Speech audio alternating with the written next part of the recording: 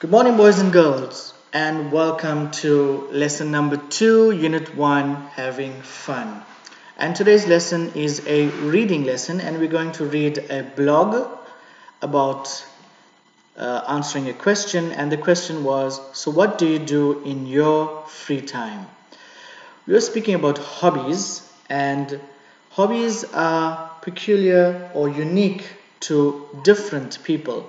Some people they do different things in their spare time. Example, some people read, some people sleep, some people collect things, some people make things. So, we're going to read this blog and you will answer very quickly two questions. Post it on Google Classroom so I can have a look. The first question is How many people like collecting things? For example, like here, they are collecting caps from the different bottles. And number two, who has got the strangest hobby? Strangest hobby? Ah, it's not very familiar to other people and not many people do this type of hobby. So who from these people do you think have the strangest hobby? So let's read the question very quickly. It says, so what do you do in your free time? Okay, we know you all like watching TV and playing computer games, but we want to know some of the other things you do when you've got some free time. Write us a line or two and let us know. And this was posted on January 22nd.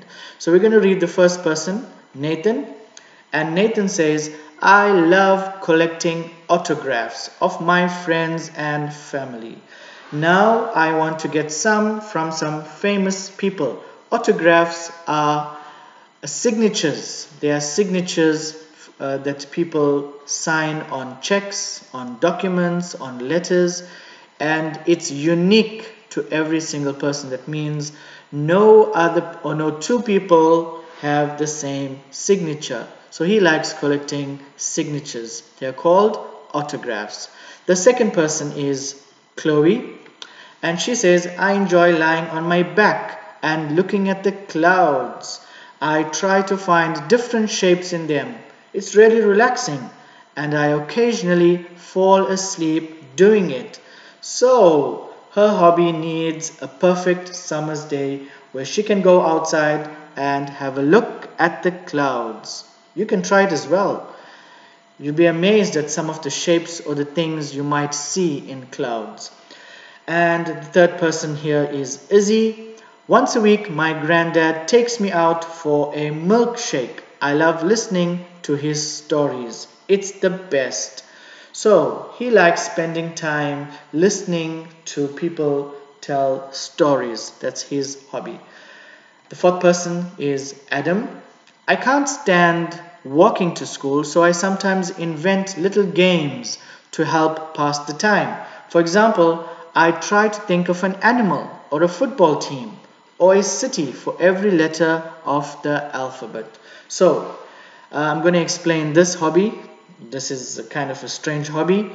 Uh, as he walks to school, uh, he starts with the alphabets. He starts with A and he tries to think of every animal that starts with A. Do you know any animal that starts with A?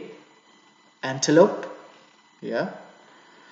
Uh, then he starts thinking of a football team that starts with A, Almeria, uh, a city that starts with A, Amsterdam, and this is what he does. He goes from A to Z. The fourth, I mean, the, sorry, the fifth person is Liz. Liz says, I like doing my homework as soon as I get home from school. Is there something wrong with me? Oh, yes, Liz. Not many children go home and start doing their homework. So, she's a special child. She loves doing homework in her free time. The next person is Rebecca. I really like going for a walk on my own in the forest near our house. That sounds dangerous. There's always something interesting to see, and I never get bored. Well, I wouldn't advise walking alone in the forest. Hmm. What do you think? The next person is Lewis, and Lewis says, I collect bottle tops. I always take one home every time I go to a restaurant. So this picture here is Lewis's hobby. The next person is Dylan. What do you think Dylan says? He says, I like watching the news on TV. I watch it every day. My friends think I'm weird. No, Dylan, I don't think you're weird.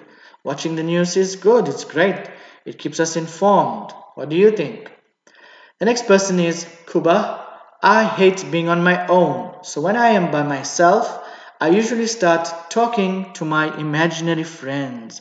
Ah, everyone has an imaginary friend, but don't tell anyone. Do you have an imaginary friend? Jasmine. I really get bored, but if I do, I just go to the library and get a book to learn about something new. It works every time. So she loves reading books. And there's plenty of things we can learn from books. Daisy, I like writing poems. I often write a poem when I've got nothing to do. This is this is good. I like writing poems as well. So,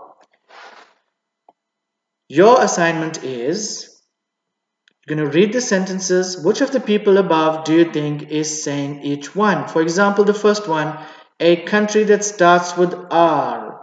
This hobby was Adam's hobby. Okay. Who said or whose hobby had this sentence? Have you got a book about birds? Who do you think this hobby belongs to? Tell me more, please. Tell me more. Can you write your name for me in my book? Sorry, I can't come to the park now. I want to finish my maths. And hey, that one looks just like a cow. Do you know whose or which of the people said these things or have acquaintances to these sentences? That's your homework for today. So write your answers and post them on Google Classroom.